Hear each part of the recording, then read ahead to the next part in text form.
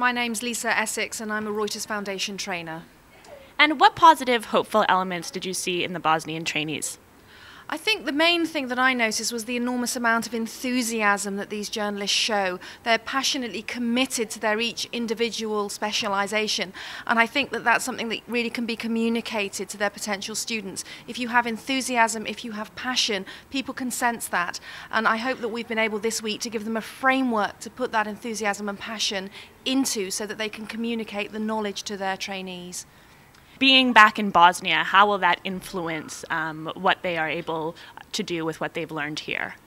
Um, obviously, the Bosnian context, it's a very young country at this point in terms of the development of its journalistic skills.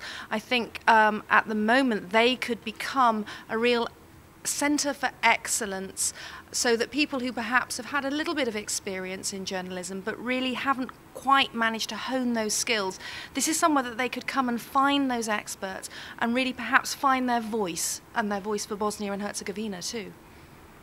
And what, if anything, would you focus on differently um, next time? Um, I think it's it's it's gone really really well. I mean, of course, every course you you wish it could have been longer. There are things that we had to miss out.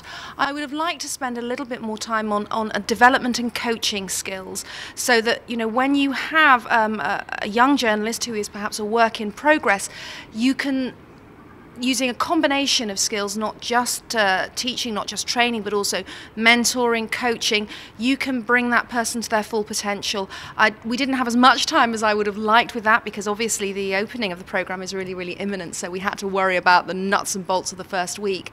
Um, but I think there's, there, there's certainly an area as the program matures for the maturing of the trainers as well. I'm Royston Martin. And you are a trainer today? Yeah, I'm an academic broadcast journalist, and I've been working with the Sarajevo Media Center on a on a training exercise. Great. And um, what positive, hopeful elements did you see in the Bosnian trainees? It's just been a lot of fun working with people who've got real commitment to the basic values of journalism and trying to spread those in their own country. And um, how will being back in Bosnia influence um, the trainees' ability and potential?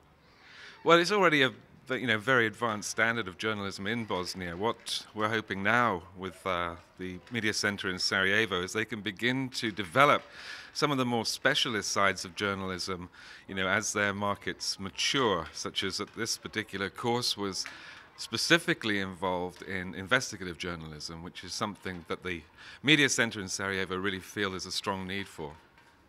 And speaking of this particular course, um, what would you focus on differently if next time? Um, there's a lot of great areas we can still develop into. Obviously, the convergence of media is going to be a key subject as we go forward. Um, there's a lot of work we can do with technologies. There's a lot of work we can do with spreading those technologies throughout the country. So there's a, a lot of very interesting um, avenues we can still explore once we've got this core foundation working correctly.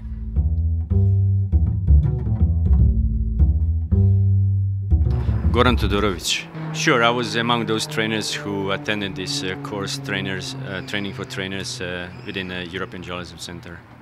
Nedim Dervisbegovic. Slobodan Kadekic. And my first question for you today is how did the training prepare you for your goals as a trainer when back in Bosnia?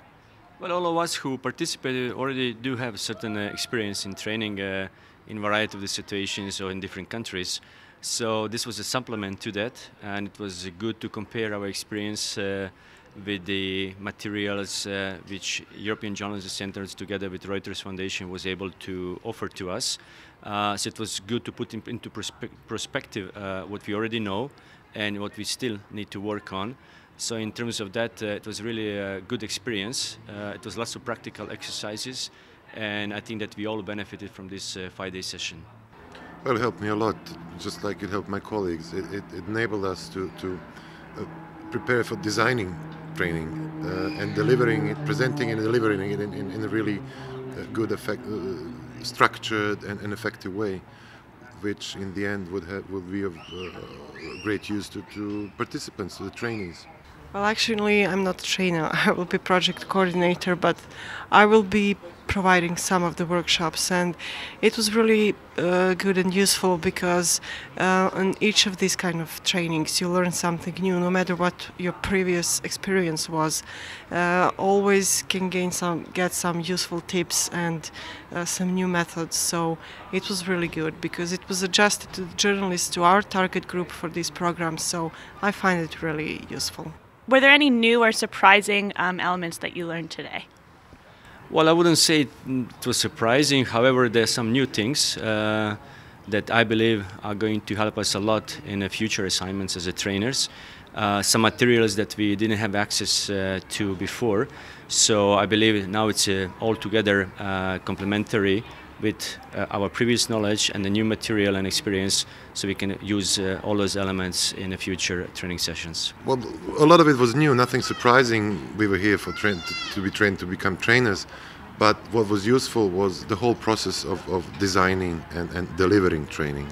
Uh, different steps. Uh, the, for some, you think they're not useful, but in the end, you see that everything uh, makes part of the whole. So, the whole process was really, really the whole process of designing training is really great. Great, thank you very much.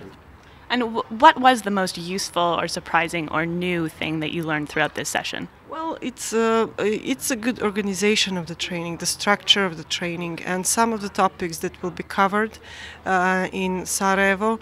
Uh, I think we, we kind of got them presented in, in very, uh, very well manner, and that, that also can be used.